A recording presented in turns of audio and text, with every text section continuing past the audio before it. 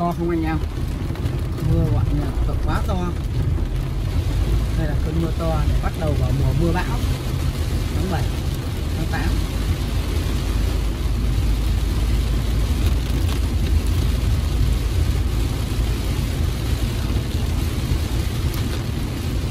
tuy nhiên thì là đi ô tô thì anh em thấy rồi chỉ hơi khó nhìn một tí thôi. Thế còn lại, vẫn đi được. Đấy là mình à, thế thì hôm nay là cái clip này ấy, là muốn chia sẻ cho anh em cách đi mà trong điều kiện trời mưa ấy. thì à, thường thường là như vậy là mình sẽ bật cái đèn à, cảnh báo lên. Bật hết hệ thống đèn lên. Bật cả đèn xa pha xa ra luôn anh em nhé. Bật à, đèn cảnh báo này. Bật hệ thống đèn pha xa này.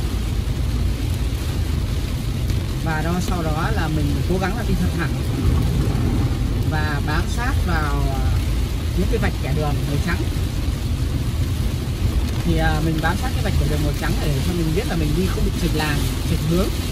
Thế còn lại cái ờ, đèn đấy mình bật hết rõ lên đấy bật pha xa rồi bật hết rõ lên để giúp cho là cái đèn phía trước và cái xe phía trước và xe phía sau họ có thể quan sát được xe của mình cơ bản thường thường là chính là cái xe phía sau. Họ sẽ quan sát được à, xe của mình.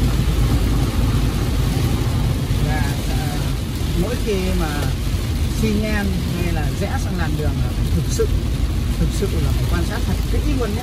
Bởi vì lúc đấy là tầm nhìn của tất cả mọi người đều hạn chế lắm rồi. Mọi người đều rất là hạn chế luôn không không nhìn những gì cả.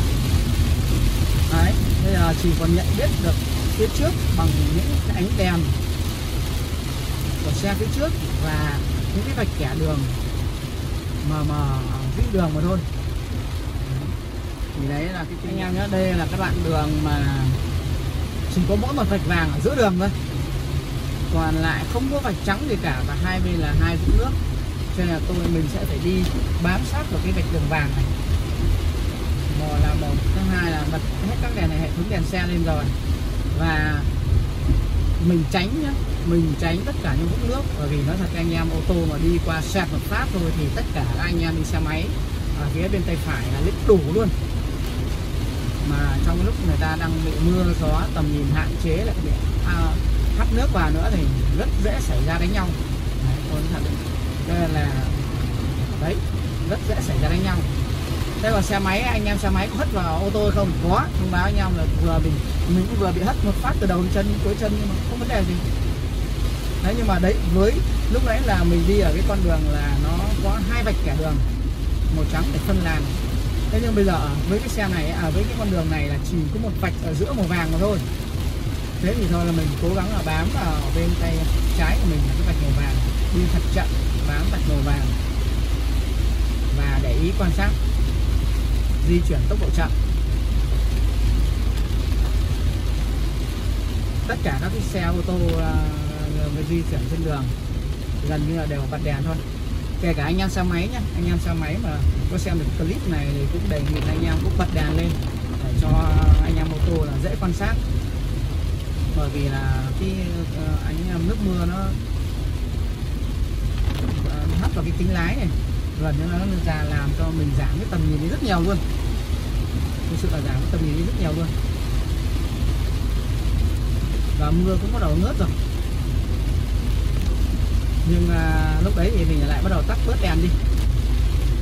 Và chạy à, ở cái tốc độ cũng bình thường thôi bởi vì nó thực sự là mưa gió này rất khó xử lý. Mà rằng xử có vấn đề gì á mình lại phải ra khỏi xe ướt át mưa gió lắm. Thì đây là cái clip mà mình chia sẻ những cung đường đi trong thời tiết mưa gió ở những cái đoạn đường mà có vạch kẻ đường màu trắng phân làn hay là có những đoạn đường chỉ có một vạch kẻ đường màu vàng thôi.